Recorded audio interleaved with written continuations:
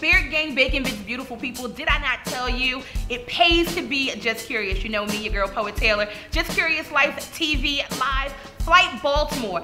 I promised you that we would talk to the myth, the man, the wonder, the chef, the cleaner, the baker, the candlestick maker.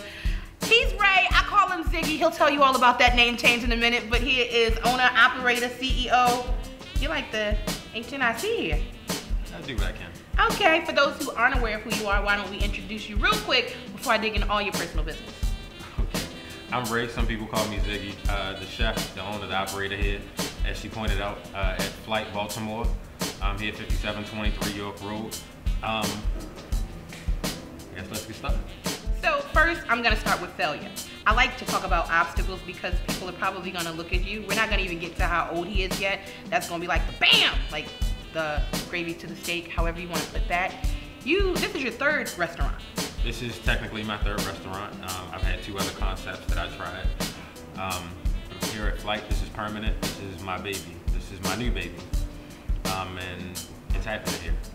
So for an entrepreneur, what makes you say I'm gonna get up and try again after you didn't fare so well the first two times? Um, as an entrepreneur, I guess you gotta have that drive and you gotta make it work. And it has to happen. Like, you know, it, it's either, you gotta work. So Hey. if you work for yourself or you work for someone else. And I would rather work for myself and I enjoy it. If I'm gonna do it, I might as well do it for myself. Okay, so let's talk about your first two tries. What were the restaurants, what were the things, and why do you think they failed? Um, Or didn't do as well as you expected? Failed seems like such a bad word, bad. No, it's not so much that they failed or they did not fail. They just weren't as successful as I needed to be. Okay. So, you know, the first concept was more of a club concept. You know, I was a managing partner at a club. Um, the second concept, I had another restaurant here in Baltimore. Um, it wasn't so much that it failed, it just wasn't where I needed to be. Um, and I opened this restaurant to be better. Okay. So flight, why flight? Is it like a trip in my mouth? Um, I woke up one morning um, after going to sleep one night. I hope so. I was- Awesome. That's always I a was- plus. I woke up with it on my mind, and this is how I made it happen. Um, I had a vision, and it's coming to the light. I love the concept. I love the sound of it. I'm about to take flight into my meal, and Lord knows when I'm eating alone, that's exactly what I do. It is the trip. Um, I'm learning from seeing your menu that you don't just cater to one set of people. I finally figured out how the fusion rolls into the title of your restaurant. There's a little bit of something for everybody if you like meat, if you don't like meat. If you're a veggie lover, really, broccoli bites? Hmm, very slick, my man, but I enjoy it. Is there anything that came to mind when you sat down to prepare your menu? Did you have all of that in mind? Like, I want to try to get as many people covered as possible? Or did you learn from your previous adventures in the restaurant field that having one theme doesn't necessarily work because it kind of. Well, I've been in the restaurant business, in restaurants, hotels, retail, and things like that for over 10 years. So, you know, in today's society, there are a lot of different people doing a lot of different things. People are doing different diets, and there are different types of people. I designed this restaurant to have something for everybody and Nice. to have those groups. I know I have a lot of different kinds of friends who are from different places or who are doing different things. Okay. And in my experience, it has been hard to go into places where everybody can have something to eat versus, you know, you have those friends who don't eat meat or have different diets, you know, I'm gluten free or I'm doing different things like this. And it's like, we go somewhere and it's like, oh, well, I'm just gonna have a side of broccoli. That's all they have that I can eat. That's sad. But when you go into a place and everybody can have a meal and everybody can have that experience and everybody can have a good time and be satisfied, that's the type of experience that I want to have at Flight. And so far, that's the experience that I've had. I've talked to some of the people eating today. They're talking about flavors and concepts and the way that you merge certain items. So let's get into that. The salmon mojo seems to be on a lot of tables right now. And I won't ask the secret family history of it. But tell me about this dish and how it made it to the menu because it is amaze balls. That's a word I have copywritten, so don't try to use it on your own. Hmm. Thank you. Um, the salmon mojo was actually a, a, the, the, the whole Mojo concept is what we do here at Flight. Um, it came from a friend of mine who had an idea. He said, "This is what I want."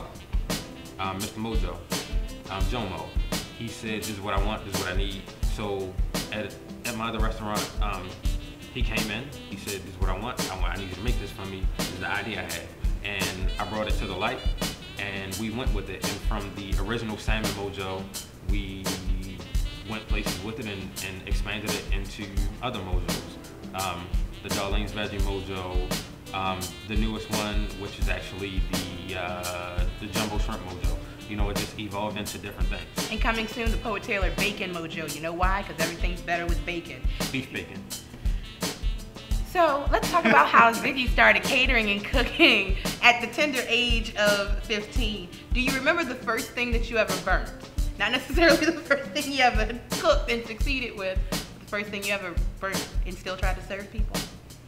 Not that I've ever done that. I honestly don't remember, but as chefs will probably tell you that we've burnt plenty.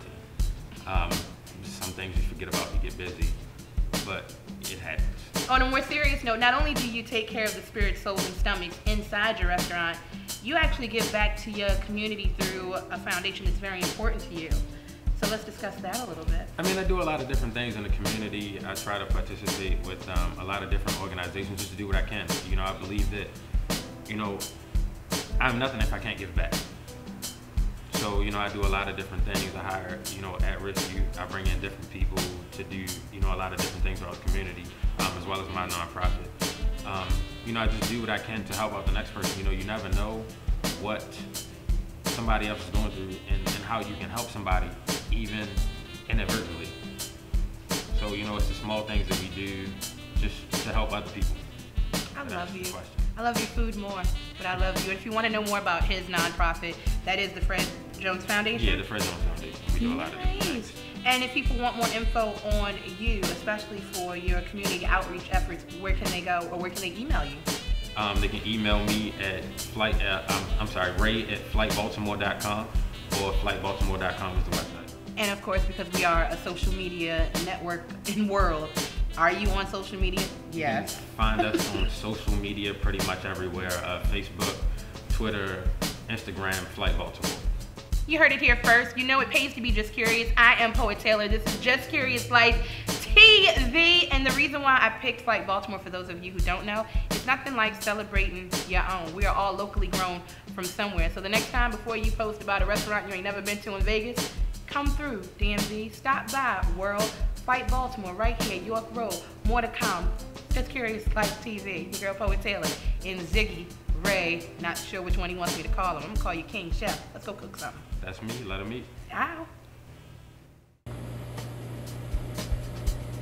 Beer Gang, Bacon Bits, beautiful people. Just Curious Life TV live. Flight Baltimore. Now we are where the magic I'd like to introduce you once again to Ziggy, owner, operator, and I keep calling him Little Michael Elay. That's not his name. This is Chef Christopher who are going to walk us through.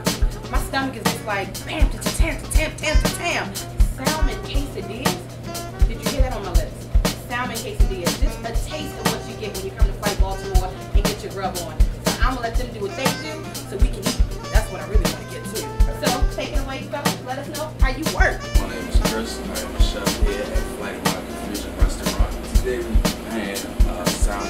Salmon quesadilla. So I'm gonna start off with the salmon. Pour olive oil in your stock. That with the quesadilla going on that so it can cook while we're cooking the quesadilla. Is it wheat, tofu, white? Wheat, wheat. I'm noticing this whole healthy thing here, but it's all Hey, you know, we do what we It's can. all we right. try to keep everybody, you know, as good as we can. So what are we seasoning our salmon with? We are seasoning the salmon with the signature house seasoning. I quite tell you everything that's in it because I can't give away all the secrets. Lord, uh, this one But secret. we'll give away when we can. New album opening. Give me some secrets. I want to know. We gonna go over here and see what's over here anyway. We'll throw in a little onion, a little peppers. Mmm. This is the famous bistro. A little, little, little seasoning. Oh, is that the seasoning that I'm not supposed to know about? Yeah, Shake some in my hand. I want to taste it. Know if I can figure out the flavors of the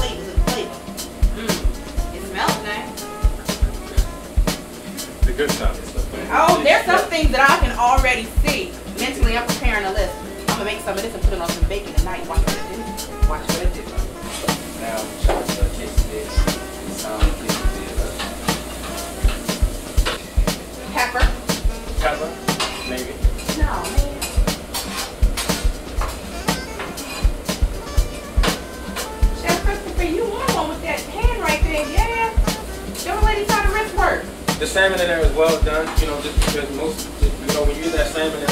there, you gotta get it cooked.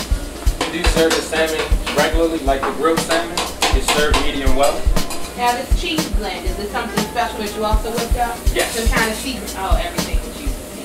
Everything with it. Can't give it all away. Yeah. Not free. Ah, I like that answer too. Now, great. Wrap the salmon. Turn the salmon over so that way it can all cook. Mm. Into one big bucket of chocolate. Mmm, mmm.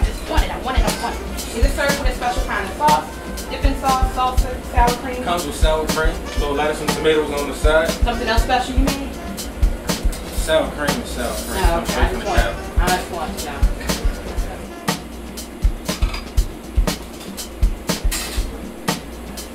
Mm-mm. Quesadilla all cooked and ready to go. Ready to serve it up so we can let the people eat.